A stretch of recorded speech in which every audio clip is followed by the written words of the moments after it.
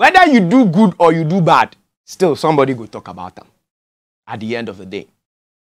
For me personally, if anybody should ask me how the whole show went, well, I would say it's about time. Yeah? It's just about time that organizers of the whole show really find means and ways to be able to listen to other creative minds. It would help.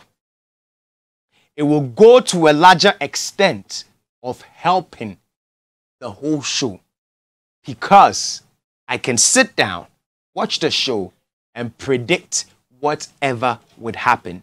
That means there might not be any creativity in one way or the other. But on a lighter note, or on the other side, big ups to Charterhouse because doing a show like VGMA is not that easy. So, honor try. And honor always they try. But me, what I go talk be see, the younger ones with them they come. With them dim your team inside. I beg you, give them space. Let them give you people to some creative ideas of how to do this, how to do that. Because Omoan Omo share other other shows. And they are inspired by all these creative ideas.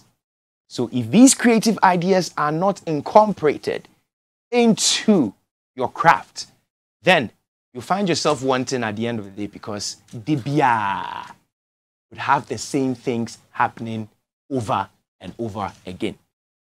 That notwithstanding, well, kudos to Charterhouse for putting in VGMA, and it happens every single year.